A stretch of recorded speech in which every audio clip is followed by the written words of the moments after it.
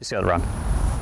Hi, I'm Derek Hooper, Director of Instruction at Royal Oaks Country Club, and we're here on the fourth hole for week four of our 18 holes in 18 weeks. And the shot we're looking at today is this layup shot on the par five. The challenge that a lot of players have here is there's a few things you want to take into consideration, and I think we get too caught up in the fact that there's water down the right hand side and the fairways down the left, and we miss a couple of key things here. So one of the things that we do want to take into account is that there's a tree line down the left-hand side of the fairway here which blocks out the predominant wind.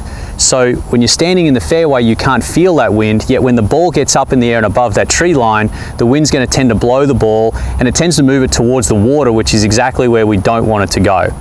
So we want to keep that in mind when we're choosing our target down the fairway. The other thing we want to keep in mind is we want to think about what length shot do we want to have for our approach. So if you don't like having shots under 100 yards, then you want to lay up a little further back. If you're not comfortable hitting an 8 iron into this green, then you want to lay up a little further down the fairway. So the thing that I would encourage you to do is, is get your laser out if you have one or use your GPS, shoot what the yardage is to the target, and then break that up into two increments that you're comfortable doing. So today I've hit this tee shot, I'm down here, I've hit the fairway, I'm going to shoot the yard, shoot the flag stick for today,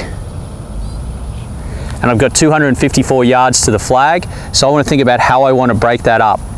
So today what I'm going to do is I'm going to hit this shot about 155 yards and see if I can leave myself a 100 yard approach shot. So I brought over a couple of clubs so I didn't have to walk back to the cart. I'm going to choose the club that I'm going to be able to hit 155 yards.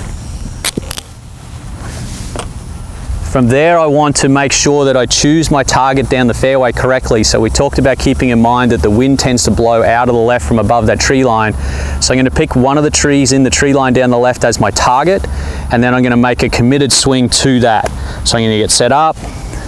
I've identified my target down the fairway. Remember, I'm trying to hit this 155. Go through my routine.